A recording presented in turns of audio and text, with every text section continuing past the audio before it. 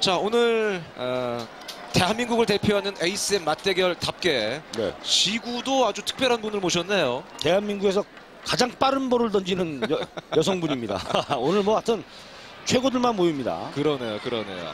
어, 여러분 잘 아시죠? 방송인 이수정 씨가 되겠는데 네. 몇 차례 시구를 했고 그때마다 아주 깜짝 놀랄 공을 던졌어요. 제가 아, 기억하기로는 이수정 씨의 첫 시구 그 그라운드가 바로 이 광주구장이었던 것 같아요. 그렇습니다. 그때 폼도 거의 완벽했었고 네. 정말 어, 공다운 공을 그때 던졌죠. 자 기대됩니다. 감상을 좀 할까요? 이야. 지금요 원바운드였지만 예, 예. 워낙 빠른 공이라 아마추어 타자들 헛스윙할 수도 있어요 저거.